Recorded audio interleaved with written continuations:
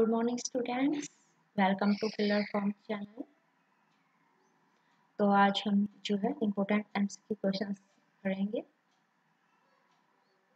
जो एग्ज़ाम्स में आएँगे। तो क्लास को शुरू से लेकर एंड तक देखना। तो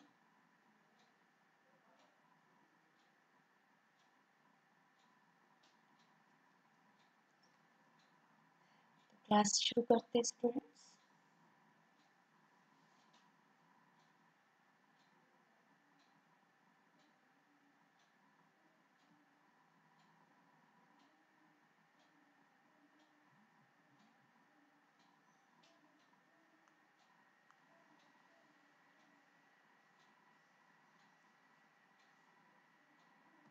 तो हमारा सी टेट का जो टेलीग्राम चैनल है इसको ज्वाइन कर लीजिए और नोट जी है आपकी पेपर फ़र्स्ट और सेकंड की क्लास होती है सी टेट का और अभी दिसंबर में एग्ज़ाम्स हैं।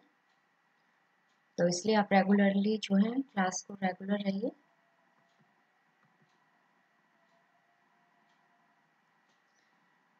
तो आज का क्वेश्चन है। फ़र्स्ट क्वेश्चन अगर आपको आंसर आता है तो आप जो चैट बॉक्स में लिख देना निम्नलिखित कथनों पर विचार कीजिए। फ़र्स्ट है, स्टेटमेंट पर है बक्सर की लड़ाई ने अंग्रेज़ों को भारत में अपना शासन स्थापित करने की कुंजी प्रदान की। सत्रह में संपन्न इलाहाबाद की संधि ने अंग्रेज़ों को बंगाल में अपना शासन स्थापित करने में सक्षम बनाया। तो इनमें से बताना है कि कौन से कथन सही हैं।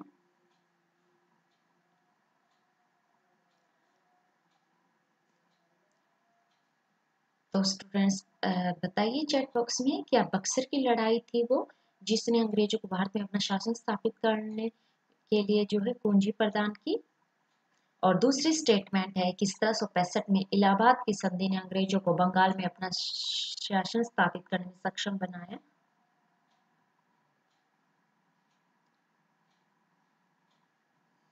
तो इनमें से दोनों ही सही नहीं है। Both statements are wrong because Plassey की लड़ाई ने जो अंग्रेज़ों को भारत में अपना शासन स्थापित करने की कुंजी प्रदान की थी तो प्लासी की लड़ाई जो सत्रह सौ सत्तावन में हुई थी, वो इम्पोर्टेंट है। तो इस वजह से ये दोनों कथन गलत हैं। और इलाहाबाद की संधि से जो है बंगाल में शासन स्थापित करने में सक्षम नहीं बना था ये प्लासी का युद्ध था, जिसने कि अंग्रेज़ों को भारत में अपना शासन स्थापित करने की पूंजी प्रदान की थी। तो प्लासी की लड़ाई महत्वपूर्ण भूमिका निभाती है। सबसे पहले प्लासी की लड़ाई होती है सत्रह सौ सत्तावन में, जिसमें सिराजुद्दौला को हरा दिया जाता है ईस्ट इंडिया कंपनी के द्वारा। और बक्सर की लड़ाई ये सत्रह में हुई थी। और इसके बाद जो सत्रह सौ पैंसठ में इलाहाबाद की संधि, मुगल सम्राट के साथ हुई थी शाह आलम द्वितीय के साथ, मुगल सम्राट के साथ संधि हुई थी। तो इसलिए जो इसका आंसर है, वो है ऑप्शन सी एक और दो, दोनों statements are wrong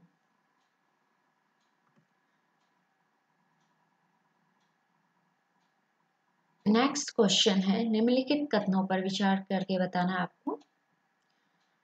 बाल गंगाधर तिलक ने अप्रैल 1916 में महाराष्ट्र में होम रूल की स्थापना की। तो आपको दे ये स्टेटमेंट्स हैं, दो इन पे जो है, इनको देखना है कि कौन सी सही है और कौन सी सही नहीं है। इनमें से सही आपको बताना है। तो जो पहला है तो बाल गंगाधर तिलक ने अप्रैल 1916 में महाराष्ट्र में होम रूल लीग की स्थापना की थी। दूसरी स्टेटमेंट है कि एनसी केलकर होम रूल आंदोलन से जुड़े हुए नहीं थे, ये भी जुड़े हुए थे। तो पहले तो बिल्कुल ठीक है। बाल गंगाधर ने 1916 महाराष्ट्र में होम रूल की स्थापना की, लेकिन ये दूसरा कथन सही नहीं है। तो इसका जो राइट आंसर है, वो रहेगा केवल एक। तो इस तरीके के क्वेश्चंस भी एग्ज़ाम्स में आएँगे।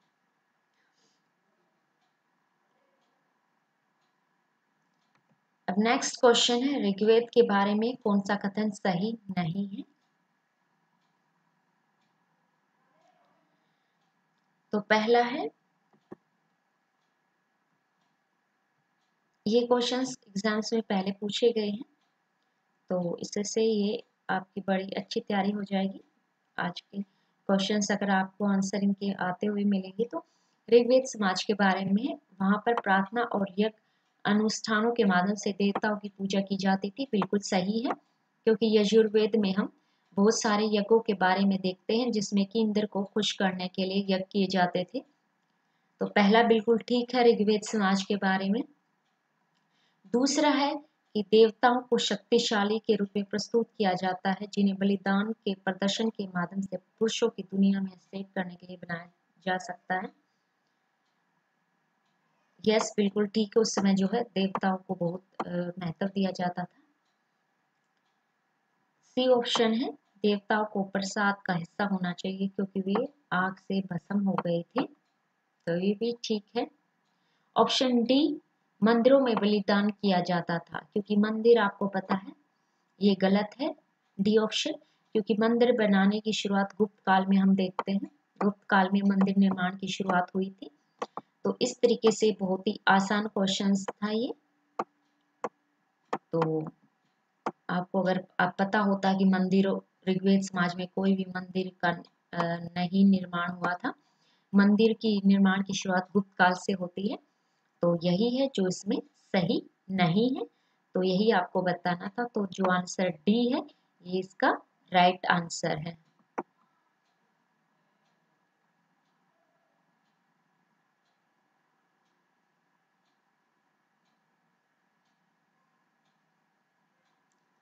ऋग्वेद के बारे में सही नहीं है। मंदिरों में बलिदान दिया जाता था, क्योंकि उस समय कोई मंदिर था ही नहीं। तो यही है जो ऋग्वेद समाज के बारे में सही नहीं है। अब नेक्स्ट क्वेश्चन है। सम्राट अशोक का एकमात्र खुदा हुआ पत्थर का चित्र कहाँ पाया गया है? अशोक की मूर्ति है जिस पर। तो ये कर्नाटक के कानागनहल्ली में मिला है। ये जगह याद रखना। यहाँ पर अशोक की मूर्ति मिली हो, उस पर उसका नाम भी अशोक लिखा हुआ मिला हुआ। तो काना गनहल्ली है ये जगह का नाम। पत्थर का चित्र यहाँ अशोक का मिला है। जिस पर अशोक का नाम भी लिखा हुआ है। अब नेक्स्ट क्वेश्चन है।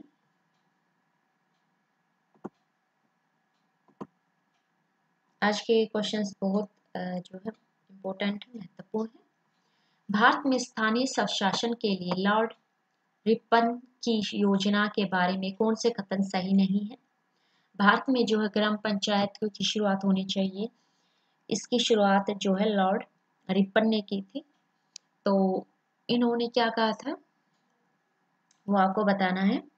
तो जिला जो है समिति या स्थानीय बोर्ड द्वारा द्वारा इस एक स्थानीय बोर्ड का निर्माण होना चाहिए। ज़िले में एक समिति, या स्थानीय बोर्ड का निर्माण होना चाहिए, ये था। ये बिल्कुल सही है।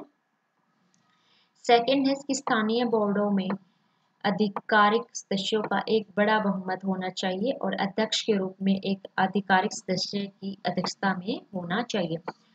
तो ये दोनों ही स्टेटमेंट्स बिल्कुल ठीक है। The both statements are correct for this question. तो उन्होंने स्थानीय बोर्ड की स्थापना की ओर ज़ोर दिया था और उसमें जो लोगों द्वारा चुने हुए सदस्य ही उसके सदस्य होंगे और उन्हीं में से एक अध्यक्ष होगा। तो ये दोनों बिल्कुल सही हैं। नेक्स्ट है, यूरोपीय संघ का आधार निम्न से किस पर हस्ताक्षर के साथ शुरू हुआ था? तो ये मास्ट्रिच संधि थी। मास्ट्रिच संधि के द्वारा यूरोपीय संघ का जो है, निर्माण हुआ था। तो इसका ए जो है, वो राइट आंसर है।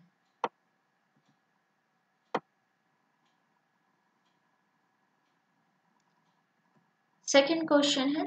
नेक्स्ट क्वेश्चन बाल गंगाधर तिलक के संबंध में कौन से कथन सही नहीं है, ये आपको बताना है। तो आपने ये तो पढ़ा ही होगा। उन्होंने जो है आर्यो का जो है घर बताया था, आर्कटिक होम के सिद्धांत को उन्होंने प्रस्तुत किया था, जो आर्य थे, भारत में आए थे। वो कहाँ से आए थे? वो आर्कटिक जगह से आए थे। ये बाल गंगाधर ने कहा था, बिल्कुल सही है। उन्होंने गो हत्या विरोधी सोसाइटी की स्थापना की थी, बिल्कुल सही है। उन्होंने पूना में पूना, महाराष्ट्र में। होम रूल लीग की स्थापना की थी, अभी देखा था, बिल्कुल सही है।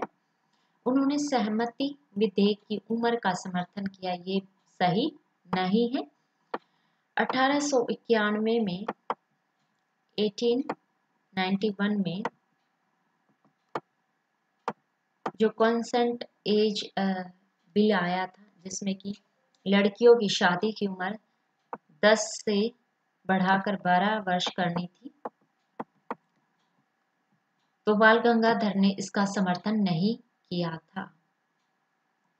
तो इसमें जो है, लड़कियों की शादी की उम्र थी, वो 10 से बढ़ाकर 12 साल करनी थी। लेकिन बाल गंगाधर ने इसका विरोध किया था। यह कहकर कि अंग्रेज़ों को कोई अधिकार नहीं है भारतीय संस्कृति में हस्तक्षेप करने का। तो जो कंसेंट मैरिज एज जो बिल था, ये 1891 में आया था और इसका बाल गंगाधर ने जो है समर्थन नहीं किया था। तो इस क्वेश्चंस में पूछा ही गया है कि इसमें से कौन सा कथन सही नहीं है। तो यही है ऑप्शन डी जो इसमें सही नहीं है। बाकी ऑप्शन ए बी और सी बिल्कुल सही है।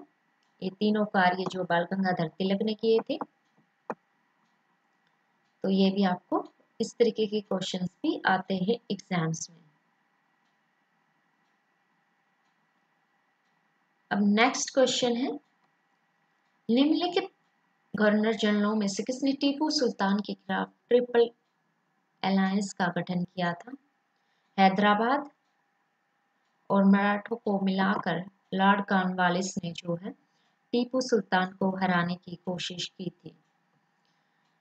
तो इसका जो राइट आंसर है, वो है लॉर्ड कॉर्नवालिस सत्रह सौ निन्यानवे में आपको टाइम याद होगा ये सेवनटीन नाइन्टी थ्री से लेकर और निन्यानवे तक जो है, ये भारत के गवर्नर जनरल रहते हैं। और इन्होंने ही जो है टीपू सुल्तान को हराने के लिए ट्रिपल अलायंस होते, तीन मित्र बनाए थे। एक खुद ईस्ट इंडिया कंपनी थी, उसमें हैदराबाद और मराठे शामिल थे।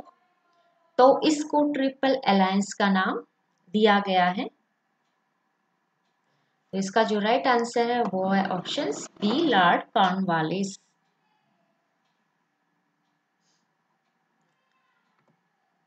Next question है, निम्नलिखित में से कौन प्रार्थना समाज की मांग नहीं थी?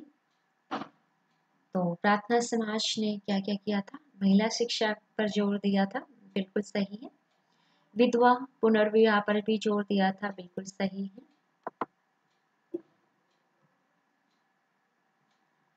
लड़कों और लड़कियों के लिए शादी की उम्र को बढ़ाना चाहिए, ये भी कहा था। तो ये तीनों सही प्रार्थना समाज की ये मांगे रही थी, लेकिन अस्पृश्यता का उन्मूलन, ये उनकी मांग में शामिल नहीं था। अस्पृश्यता का उन्मूलन। तो यही है जो प्रार्थना समाज के बारे में यहाँ पर सही नहीं है। बाकी ऑप्शन ए बी सी तीनों सही हैं। तो इस तरीके से आपको देखना पड़ेगा कि प्रार्थना समाज की ये मांगे रही और इनमें से अस्पृश्यता का उन्मूलन उनकी मांग नहीं थी। अब नेक्स्ट क्वेश्चन देखते हैं।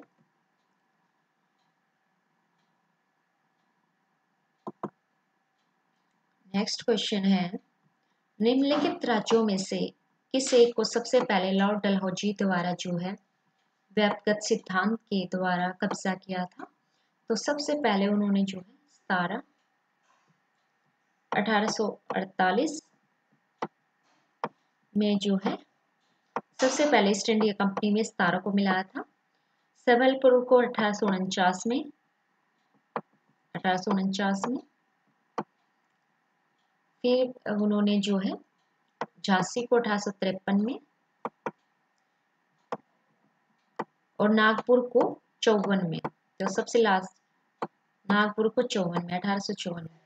सतारा को सतारा जगह है, अठारह में, फिर संबलपुर अठारह झांसी अठारह सौ तिरपन, नागपुर अठारह में इन्होंने जो है लाल डलहौजी ने इन सभी को ईस्ट इंडिया कंपनी में मिलाया था और यहाँ पर जो है यहाँ के जो राजा थे, उनका कोई पुत्र नहीं था। तो उन्हें जो है, पुत्र गोद लेने का अधिकार नहीं दिया गया था और इसी को जो है व्यापगत सिद्धांत कहते हैं। यह सिद्धांत डलहौजी ने प्रस्तुत किया था ताकि जो भारतीय देसी रिसायतें हैं, उनको ईस्ट इंडिया कंपनी में शामिल किया जाएगा। तो इस तरीके से उन्होंने सतारा संबलपुर, झांसी, नागपुर को व्यापगत सिद्धांत के द्वारा ईस्ट इंडिया कंपनी में मिलाया था।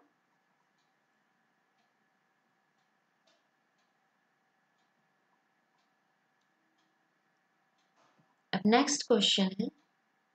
इसमें मैं सूची एक को सूची दो के साथ सम्मिलित करना है।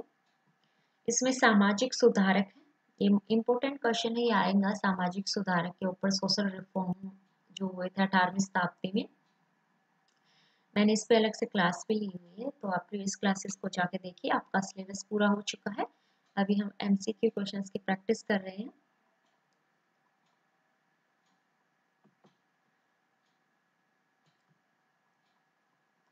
तो जो अयोध्या दास थे ये द्रविड़ महाजन सभा से जुड़े हुए थे। ज्योतिबा फूले ने सत्य शोधक समाज की स्थापना अठारह में की थी। ज्योतिबा फूले ने सत्य शोधक समाज की स्थापना की थी। और जोन का संबंध जो है, वो द्रविड़ कजगम नामक संस्था से था। और ए वी रामास्वामी नायकर जो है, इन्होंने जो है स्वाभिमान आंदोलन चलाया था, जो निम्न जाति के लोग थे। तो ये ग्रह, अस्पृश्यता का उन्मूलन करने के लिए ये ए वी रामास्वामी नायकर ने केरल में जो है स्वाभिमान आंदोलन चलाया था कि जो निम्न जाति हैं, जिनको मंदिर में जाने की अनुमति नहीं थी, उनको मंदिर में जाने की अनुमति दिलाने के लिए और जो सार्वजनिक सुविधाएँ होती हैं कुओं का इस्तेमाल करने का अधिकार और मंदिर में प्रवेश करने का अधिकार, ये सब स्वाभिमान आंदोलन का जो है महत्वपूर्ण हिस्सा रहा है। तो इसकी शुरुआत ईवी रामास्वामी नायकर ने केरल में इसकी शुरुआत की थी। तो इस तरीके से जो सामाजिक सुधार हुए थे अठारहवीं शताब्दी में तो ज्योतिबा फुले ने सत्यशोधक समाज की स्थापना की थी। तो इस तरीके से क्वेश्चन जो एग्ज़ाम्स में पूछे जाएँगे।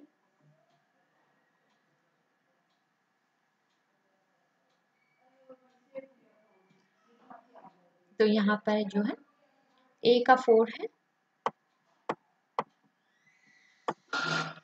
अयोध्यादास दरविड़ महाजन सभा से जुड़े हुए थे। बी का वन है और सी का टू है और ऑप्शन है डी का थ्री है। तो आप इनको नोट कर लिए इंपॉर्टेंट क्वेश्चन है। इस तरीके से आपसे क्वेश्चन पूछे जाएँगे।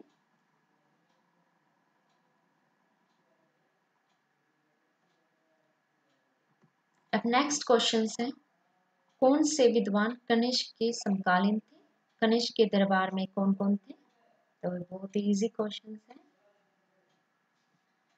कनिष्क के जो रतन थे, कनिष्क के दरबार में थे। तो आशु घोष थे, जिसने बुद्ध चरित की रचना की थी। नागार्जुन थे, जो महायान संप्रदाय से जुड़े हुए हैं। और ये कनिष्क के दरबार में थे। वसुमित्र थे। ये तीनों ही जो है कनिष्क के दरबार में थे और कनिष्क के समय ही वो धर्म, महायान हीनयान धर्म में बटा था।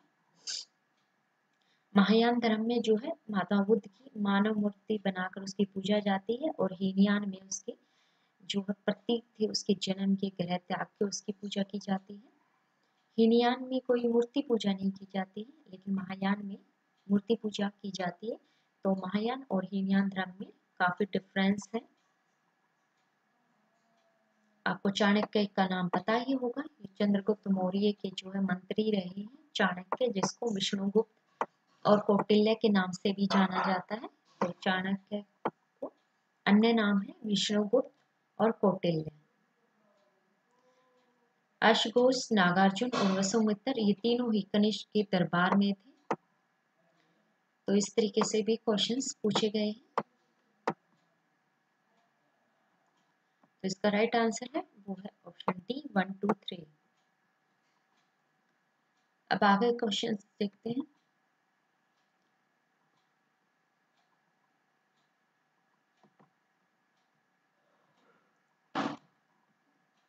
सत्रहवीं शताब्दी के दौरान दक्षिण भारत में यूरोपीय व्यापारिक कंपनियों की सफलता के लिए कौन से कारण जिम्मेवार थे? ऑप्शन एक दक्षिण में मुगलों की स्थिति उतनी नहीं थी जितनी उत्तर में थी। ऑप्शन दो सोलह शताब्दी के अंत में विजयनगर साम्राज्य को उखाड़ फेंका गया था। दक्षिण में कई छोटे और कमज़ोर राज्य थे। तो जो यूरोपीय कंपनियाँ थी, फ्रांस हुआ, ब्रिटेन, ईस्ट इंडिया कंपनी हुई इनको सफलता दक्षिण में मिलती है इसके पीछे। कौन से कारण थे? तो इसके दो कारण थे। तो इसका जो राइट आंसर है, वो ऑप्शन टू और थर्ड है। तो ऑप्शन जो सी है, वो बिल्कुल सही है। तो जो दो और स्टेटमेंट थ्री बिल्कुल सही है कि सत्रहवीं शताब्दी में दक्षिण भारत में जो यूरोपीय व्यापारिक कंपनियाँ थी, जैसे कि France East India Company Dutch East India Company, क्योंकि सोलहवीं शताब्दी के अंत तक विजयनगर साम्राज्य का अंत हो चुका था। दक्षिण में कई छोटे छोटे कमज़ोर राज्य थे जिनको हराना इन कंपनियों के लिए आसान था। ऑप्शन ए, जो है ये कारण नहीं था।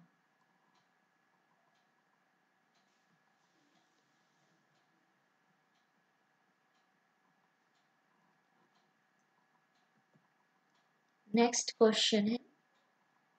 1856 में अवध को ब्रिटिश साम्राज्य में शामिल नहीं किया गया होता तो यदि अवध के नवाब ने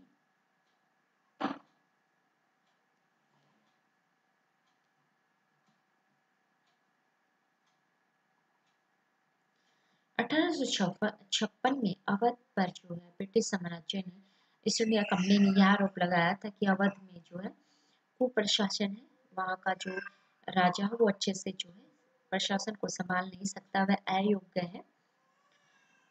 तो उन्होंने एक रिपोर्ट भी तैयार की थी। तो इसके आधार पर डलहौजी ने जो है अवध को अठारह में ईस्ट इंडिया कंपनी में शामिल किया था। तो अगर उन्होंने जो सुझाव दिए थे सुधार करने के लिए, अगर उनको मान लेता अवध का नवाब तो ईस्ट इंडिया कंपनी अवध को नहीं मिलाती। लेकिन अंग्रेज़ों ने एक रिपोर्ट तैयार करके जो सुधार करने के सुझाव दिए थे, उनको मानने से इनकार कर दिया था अवध के नवाब ने, जिसकी वजह से अवध को ईस्ट इंडिया कंपनी में शामिल कर लिया गया था। तो इसका जो राइट आंसर है, वो है बी तो ये है, एक अवध था जिस पर जो है कुप्रशासन का आरोप लगाकर ईस्ट इंडिया कंपनी में मिला दिया गया था। डलहोची ने तो यही कारण है, अगर वो सुधारों को मान लेता कि ये सुधार करने की आवश्यकता है तो अवध जो है ब्रिटिश साम्राज्य का हिस्सा नहीं होता। नेक्स्ट क्वेश्चन है सभी क्वेश्चन एग्ज़ाम में पूछे गए हैं।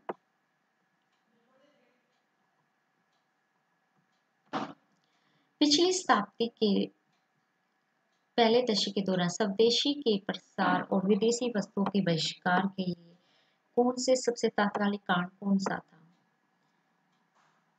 तो 1905 में जब विदेशी वस्तु का, जो बायकाट किया जाता है, स्वदेशी वस्तुओं के प्रयोग पर ज़ोर दिया जाता है तो उसका क्या कारण था? तो उसका तात्कालिक कारण पूछ रहे हैं तो ये ऑप्शंस दिए गए आपके सामने। पहला है, स्थानीय स्वशासन के क्षेत्र को कम करने के लिए कर्जन का डिज़ाइन दूसरा, विश्वविद्यालय को नियंत्रित करने के लिए कर्जन का प्रयास। लॉर्ड कर्जन ने ये कार्य किए थे, लेकिन जो है, तात्कालिक कारण पूछ रहे हैं। लॉर्ड कर्जन ने जो है, विश्वविद्यालय को नियंत्रित करने के लिए जो है 1904 का यूनिवर्सिटी एक्ट भी पारित किया था। और ऑप्शन सी है, कर्जन का बंगाल का विभाजन किया था। और भारतीय राष्ट्रीय कांग्रेस की बढ़ती लोकप्रियता को रोकने के लिए कर्जन की योजना तो तात्कालिक कारण है कि क्यों जो है विदेशी वस्तुओं का बहिष्कार किया गया था और जो स्वदेशी मतलब भारत में बनी हुई वस्तुओं का ही खरीदना चाहिए, उन्हीं का इस्तेमाल करना चाहिए। इस बात पर जो ज़ोर दिया गया था, इसका प्रमुख कारण था कि कर्जन का, कर्जन ने जो बंगाल का विभाजन किया था। तो इसका जो राइट आंसर है, वो option C is the correct option for this question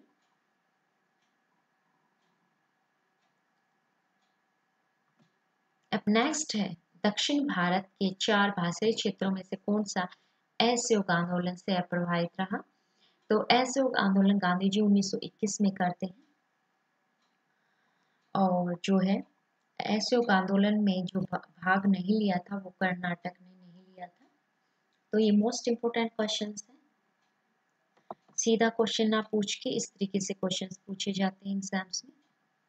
तो केरल, तमिलनाडु, आंध्र प्रदेश, इन तीनों ने जो है भाग लिया था ऐसे योग आंदोलन में।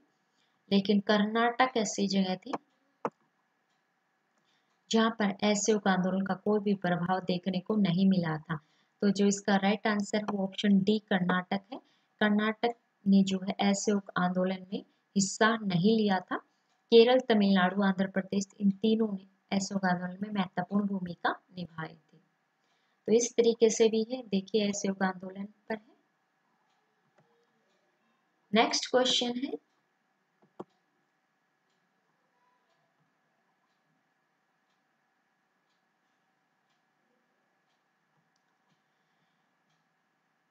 कथन एक और दो को देखना कि कौन सा सही, कौन सा गलत।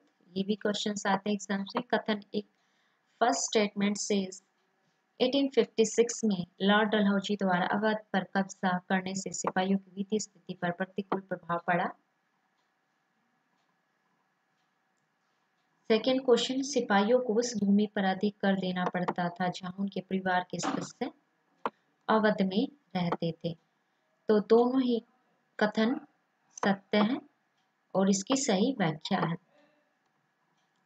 तो अठारह छप्पन में जो लॉर्ड डलहौजी ने अवध पर कब्जा करने से सिपाही जो थे, अवध के जो राजा ने अपनी सुरक्षा के लिए जो सिपाही रखे थे, उनकी वित्तीय स्थिति कमज़ोर हो गई थी। और उस भूमि पर उन्हें अधिक कर देना पड़ता था, जहाँ उनके परिवार के सदस्य अवध में रहते थे। तो इसी वजह से वित्तीय स्थिति उनकी कमज़ोर हो गई थी। सरकार को ज़्यादा टैक्स देना पड़ता था। तो statement the both statements are correct for this question next question देखते हैं।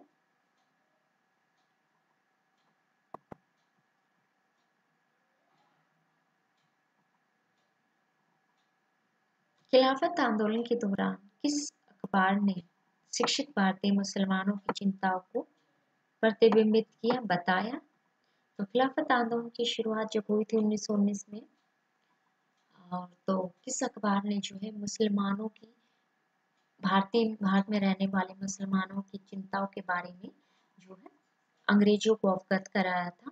तो ये जो अखबार थे, जो मुसलमानों की मांगों को इन्होंने उठाया था तो ऑप्शन डी इसका राइट आंसर है।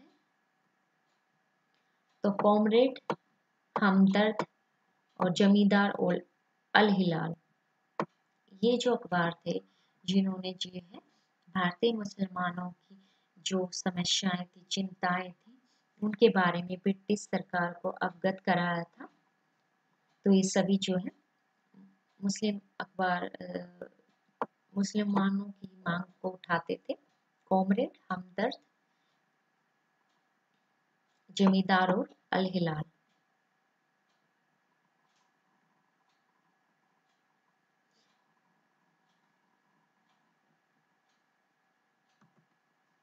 नेक्स्ट क्वेश्चन है।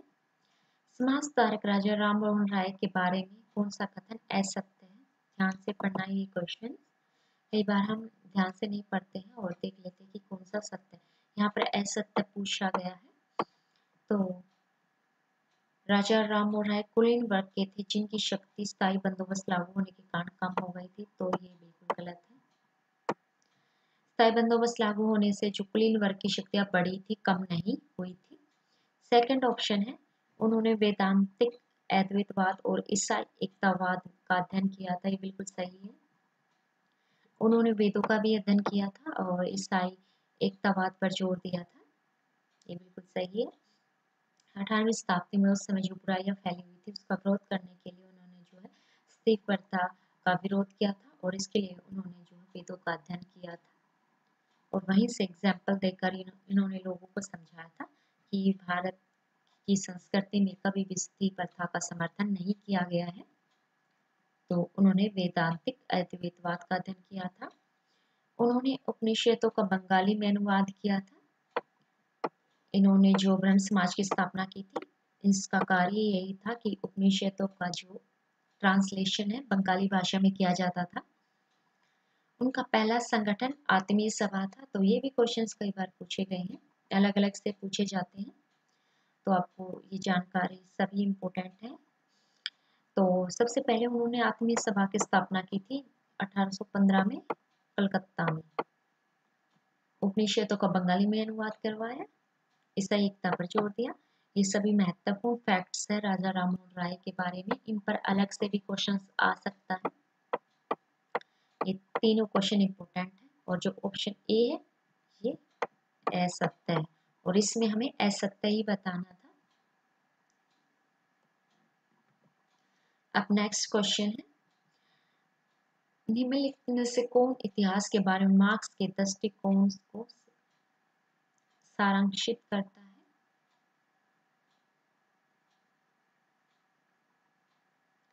तो मार्क्स इतिहास के बारे में मार्क्स की जो है दृष्टिकोण को कौन सा कथन बताता है? यहाँ पे चार स्टेटमेंट्स दी होंगी। चार कथन। उसमें से बताना है कि इतिहास के बारे में मार्क्स ने क्या दृष्टिकोण रहा है? किस तरीके से उन्होंने इतिहास की व्याख्या की है? तो इतिहास विभिन्न लोगों के बीच युद्धों का एक रिकॉर्ड है। नहीं। इतिहास अतीत की घटनाओं का एक वफादार रिकॉर्ड है। नहीं। उन्होंने कहा था जो इतिहास है कार्ल मार्क्स ने कहा था उन्होंने इतिहास की जो व्याख्या उन्होंने इतिहास को इस प्रकार से देखा था कि इतिहास उत्पीड़क और उत्पीड़ित वर्गों के बीच जो है संघर्ष का उत्तराधिकार है। उत्पीड़क और उत्पीड़ित वर्गों के बीच संघर्ष का उत्तराधिकार है, ये कार्ल मार्क्स ने कहा था। उन्होंने इतिहास की व्याख्या इस प्रकार की है नेक्स्ट क्वेश्चन है कि रूसी क्रांतिकारियों ने अपनी विचारधारा किसके सिद्धांतों से प्राप्त की? रूस में क्रांति हुई थी। तो उन्नीस सौ सत्रह की रूस की क्रांति बहुत ही महत्वपूर्ण है और इसका जो कारण है वो मार्क्स और लेनिन की विचारधारा से प्रभावित होकर रूस में क्रांति की शुरुआत हुई थी। तो रूस पर जो है मार्क्स और लेनिन के विचारों का असर था और रूस में साम्यवाद की स्थापना होती है।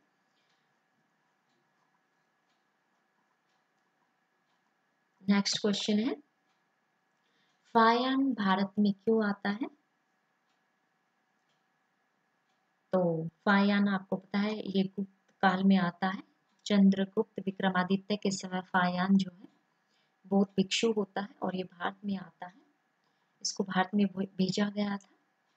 तो ये इसका, इसने भारत में आकर क्या करना तो ये चार ऑप्शन है। गुप्त राजाओं की प्रशासनिक व्यवस्था के बारे में जानना था, नहीं। गुप्त काल के दौरान महिलाओं की सामाजिक स्थिति को जानना था, नहीं। बौद्ध संस्थाओं का दौरा करें और बौद्ध पांडुलिपियों का प्रतियाँ एकत्रित करें। इनको जो है बौद्ध धर्म के बारे में, उनकी संस्थाओं का अध्ययन करने के लिए, बौद्ध ग्रंथों का जो है अनुवाद करने के लिए चीन से भारत में भेजा जाता है।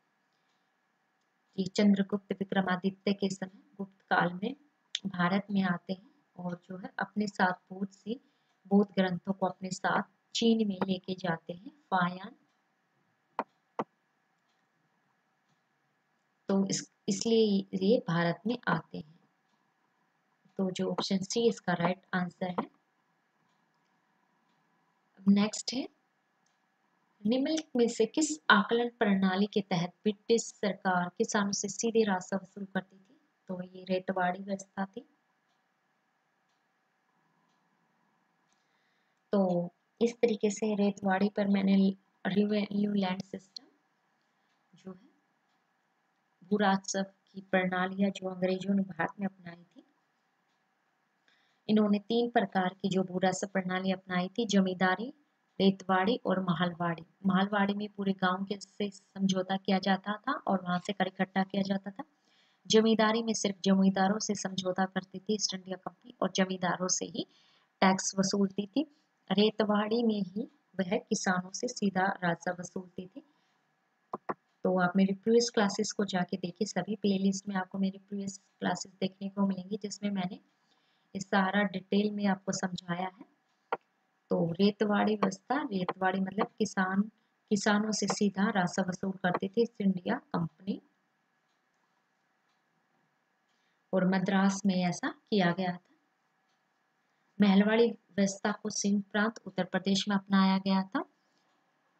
जमींदारी को बंगाल, बिहार, उड़ीसा में अपनाया गया था।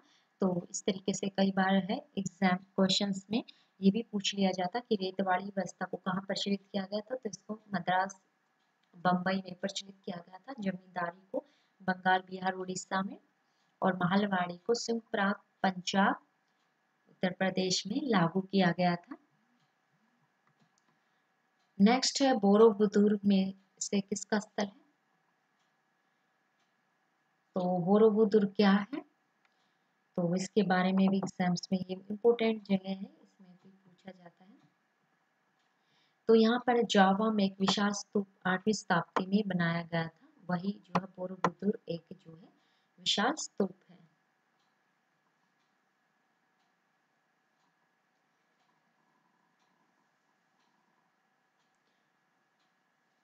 तो बोरोबुदुर इम्पोर्टेंट जगह है बोरोबुदुर जावा में एक विशाल स्तूप को कहते हैं बोरोबुदुर और यह आठवीं शताब्दी में इसका निर्माण किया गया था।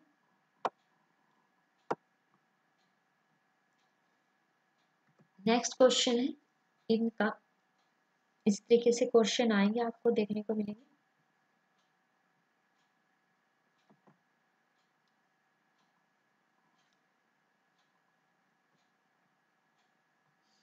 तो इलबर्ट विवाद लॉर्ड रिबन के समय अठारह सौ तिरासी में होता है। 1883 1883 में अठारह सौ तिरासी ईस्वी में जो इलबर्ट विवाद था। इलबर्ट विवाद क्या था? लॉर्ड जो रिपन थे, वो काफ़ी उदार शास गवर्नर जनरल थे। उसने कहा था कि जो भारतीय न्यायाधीश है, वो यूरोपीय श्वेत लोगों से जुड़े हुए मुकदमे की कार्रवाई कर सकते हैं, उनके खिलाफ फैसले सुना सकते हैं। लेकिन जो गोरे लोग थे, उन्होंने इस बात का विरोध किया और उन्होंने कहा कि भारतीय न्यायाधीशों को यह अधिकार नहीं दिया जाना चाहिए कि गोरे लोगों को सजा सुना सके। तो इसी को एल्बर्ट बिल विवाद कहते हैं, जो कि अठारह में 1883 में घटित हुआ था। मार्लो मिंटो सुधार 1909 में हुआ था ये। इनको टाइम पीरियड के अनुसार इनको जो है अरेंज करना है। इसमें जो है मुसलमानों को जो है अलग पृथक चुनाव निर्वाचन क्षेत्र दिए गए थे उन्नीस सौ नौ में। उसके बाद रोल एक्ट 1919 में आता है। रोल एक्ट एक्ट में था कि किसी भी भारतीय पर संदेह होकर उसको गिरफ़्तार कर लिया जाता था। वह कोई भी अपना वकील नहीं कर सकता था, ना ही कोई दलील दे सकता था। गांधी इरविन पैक्ट जो है उन्नीस सौ इकतीस में गांधी और इरविन के बीच जो एक समझौता होता है, ये होता है उन्नीस में। तो ये थे महत्वपूर्ण। इस तरीके से इसका आंसर हो जाएगा ऑप्शन चार। पहले चार आएगा। पहले इनमें इनको सही घटनाओं का सही क्रम बताना कि कौन सी घटना सबसे पहले हुई थी। तो सबसे पहले एल्बर्ट विवाद हुआ था। फिर उसके बाद मार्मेल्टो रिफॉर्म्स, फिर रोलैक्ट, फिर लास्ट में गांधी इरविन पैक्ट हुआ था। तो इसका जो राइट आंसर वो है चार, तीन, एक, दो। तो इसका ये बी ऑप्शन जाएगा। तो इस तरीके से आपको इनकी डेट भी याद रखनी है कि वट विवाद कब हुआ था, मार्लिमेंटो सुधार कब हुआ था और गांधी इरविन पैक्ट समझौता कब हुआ था, रोल एक्ट कब आया था। तो अगर आपको इनकी डेट याद है, तभी आप इनको जो है सही ढंग से सिक्वेंस में लगा सकते हैं। तो सिक्वेंस में लगाने वाले क्वेश्चंस भी एग्ज़ाम्स में पूछे जाते हैं।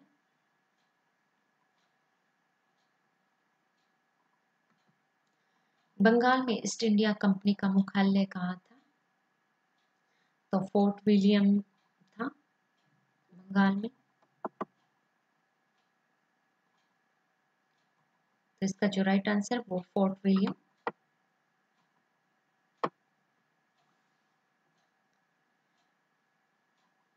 नेक्स्ट है, ईस्ट इंडिया कंपनी जो अस्तित्व में थी तो इंग्लैंड पर, नॉर्मन्स का शासन चल रहा था।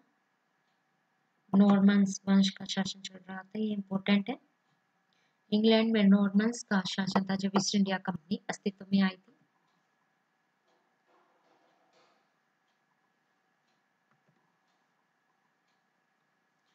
तो आज के स्टूडेंट्स ये इम्पोर्टेंट एमसीक्यू क्वेश्चंस थे।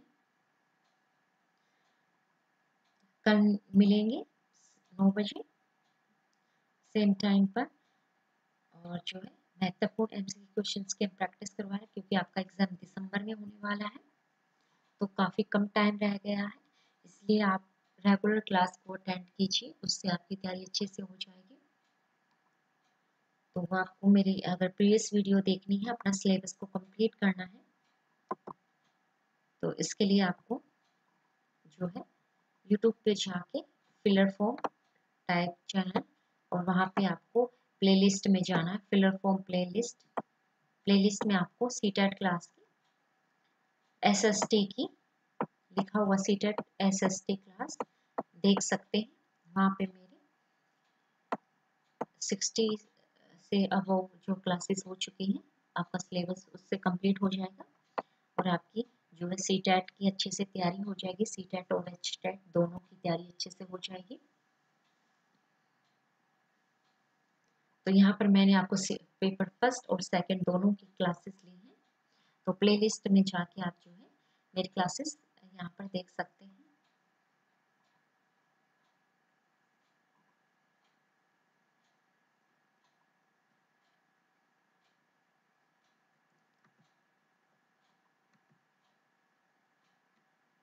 अगर आपको नोट्स के बारे में जानकारी चाहिए तो इसके लिए आपको काम करना है। आप व्हाट्सअप कर सकते हैं। कोई भी जानकारी चाहिए eight two double three six five double one four eight ये हमारा व्हाट्सअप नंबर है। यहाँ से अगर आपको टेलीग्राम चैनल ज्वाइन करने में कोई प्रॉब्लम आ रही है, कोई जानकारी चाहिए तो आप यहाँ पे जो है संपर्क कर सकते हैं।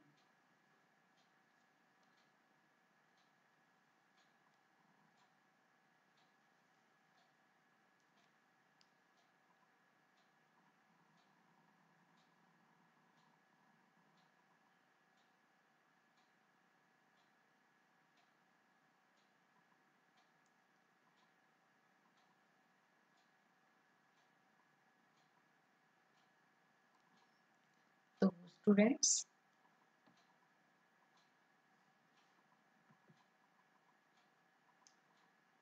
ये हमारे फिलर फॉर्म एप्लीकेशन है, इसको आप डाउनलोड कर लीजिए।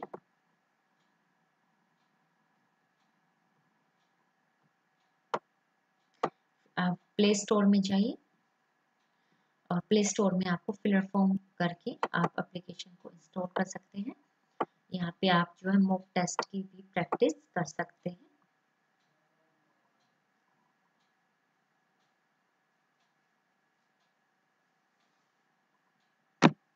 आप हमारे Telegram channel filler form application और वेबसाइट पर जाके जो है नोट्स प्राप्त कर सकते हैं और मॉक टेस्ट की प्रैक्टिस कर सकते हैं। ये हमारे नेट के लिए